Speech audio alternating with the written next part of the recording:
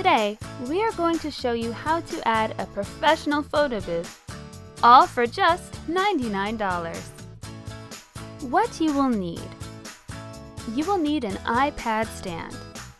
We opted for this all-in-one stand, which costs about $29 on Amazon. Next, you will need a printer.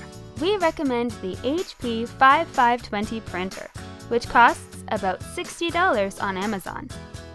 Next, you will need to install My Photo Booth app on your iPad.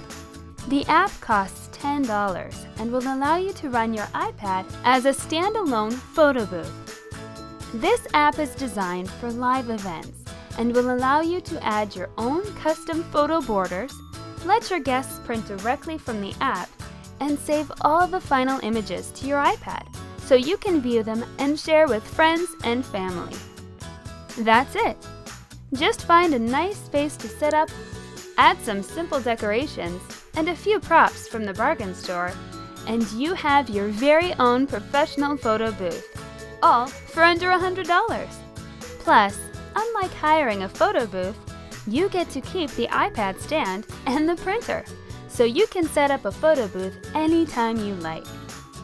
Birthday parties, christenings, family get-togethers, just about any occasion. Why not download the app today and try it out for yourself?